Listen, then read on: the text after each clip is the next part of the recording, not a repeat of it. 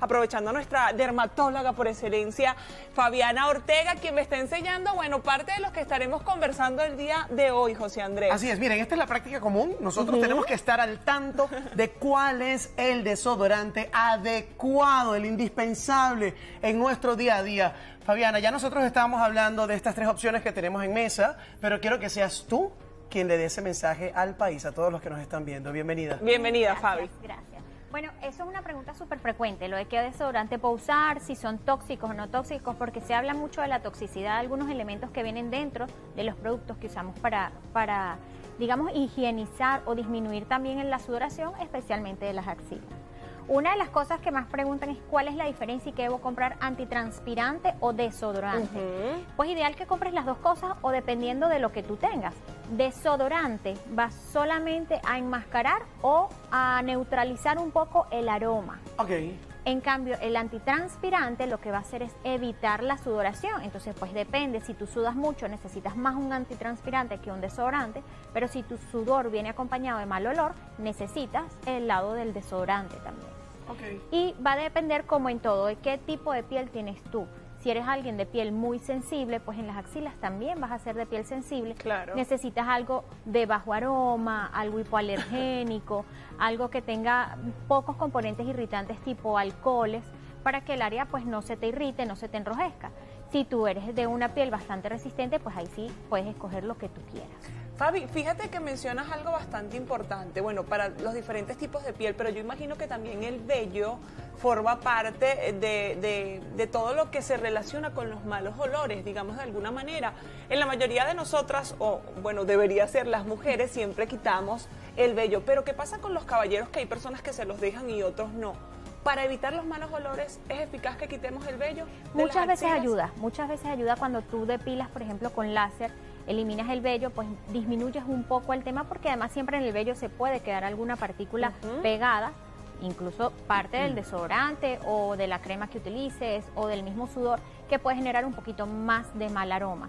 Pero no quiere decir que necesariamente todo el que tiene vello en las axilas vaya a tener mal olor. Hay personas que simplemente no tienen mal olor o que tienen ligero mal olor y con un desodorante están perfectas aunque conserven sus vellos axilares. Perfecto. Ok, doctora, aquí tenemos tres tipos de desodorante, pero en el mercado conseguimos una infinidad. ¿Cuáles son los que recomiendas eh, para nuestro día a día? Yo sé que es dependiendo del, del tipo de piel, ¿no?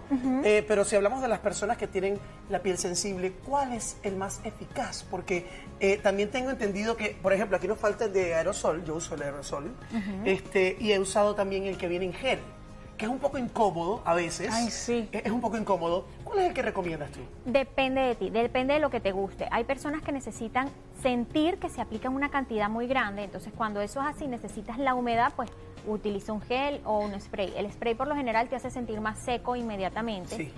Tienes también el detalle del tipo de sudor. Hay personas que de repente con las barras, cuando se colocan el desodorante, por su sudor manchan la camisa de color, de color amarillento.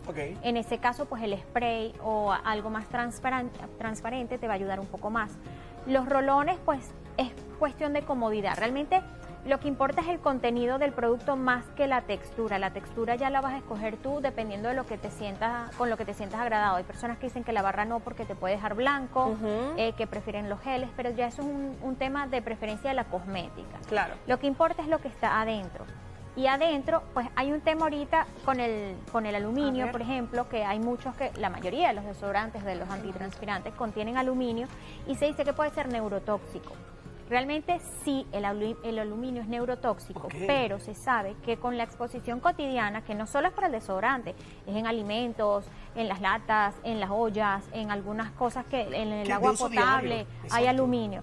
Se sabe que con ese uso cotidiano, incluso el uso constante del desodorante, hasta ahora no se conoce que realmente sea una cantidad tan grande como para que el organismo no la pueda eliminar por sí solo por la vía renal. Ok, Fabi, ahora yo quiero que tú nos comentes acerca de esta maravilla que era lo que nos explicabas al inicio del segmento. ¿De qué trata? ¿De qué va Bueno, esto? fíjate que siempre hay gente que busca como cosas más naturales, ¿no? Esto es una de las opciones que son bueno, quizás un poco más naturales. Esto es un mineral que se llama piedra alumbre.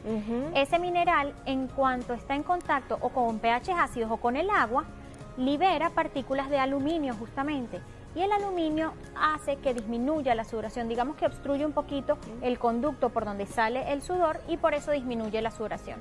La ventaja de este tipo de productos es que, por ejemplo, esto no tiene residuos, por ejemplo, si manchas las camisas es una buena opción para ti no tiene casi aroma, es bastante hipoalergénico, pero si eres de axilas muy sensibles y el roce de la piedra te puede, te puede irritar, entonces no es la opción para ti. La piedra se activa con el agua, ¿no? Con el agua. Tienes que humedecer la piedra, pasarla por la axila, pero eso sí, por donde no pase, no sirve. No es como la gente que se pone un poquito y luego mueve los bracitos para restregar. Esto, Exacto. por donde pasa, funciona. Donde no pasa, no, No hace funciona. nada. Eso tienes que pasarla mi bien tía, por mi todo el tía usa área. lumbre para la cara. ¿Sí? Antes del maquillaje Se queda usaba.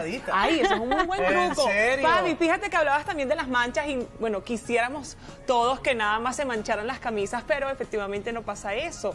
Tenemos en situaciones que nuestras axilas se manchan. ¿Cómo Ah. podemos evitar eso?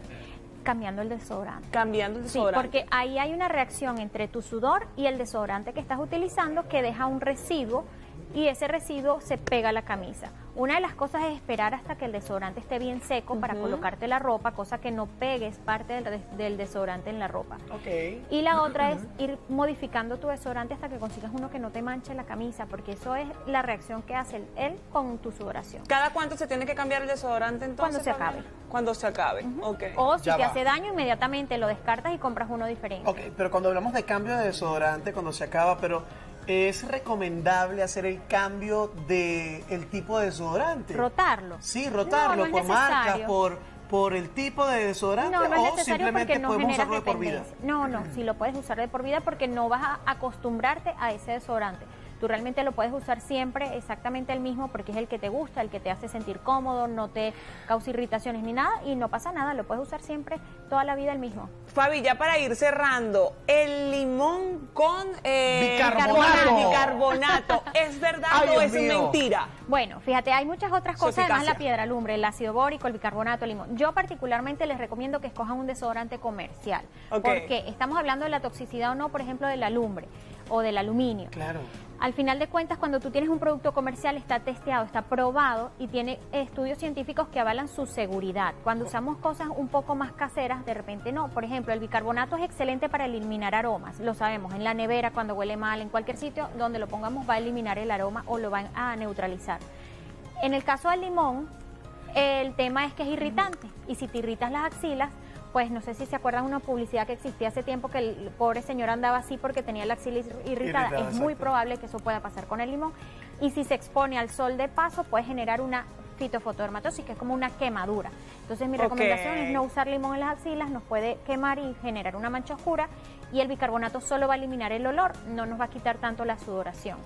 El ácido bórico, que es el otro que su- se usa muchísimo, pues bueno, no se sabe hasta qué punto es seguro el uso del ácido bórico y sí es frecuente que cause irritación. Entonces volvemos Bien a lo mismo. atentos Es en preferible casa. rotar y conseguir un desodorante comercial y estudiado que nos vea, que nos vaya bien. Te veo entusiasmada Mira, con yo quedé lumbre con en la mano, pero Yo creo que es para otra cosa. Será mi mejor amiga para el Escuchaste el maquillaje. tip del maquillaje y ya la vamos a ver ella usando la piedra de Sé lumbre. de pacientes que se lo colocan incluso en el cuerpo, hombres que de repente sudan mucho por el área Sí. pectoral y se lo ponen en las axilas, incluso en el cuerpo y les va Oh, súper bien. importante. Antes de una fiesta, por ejemplo.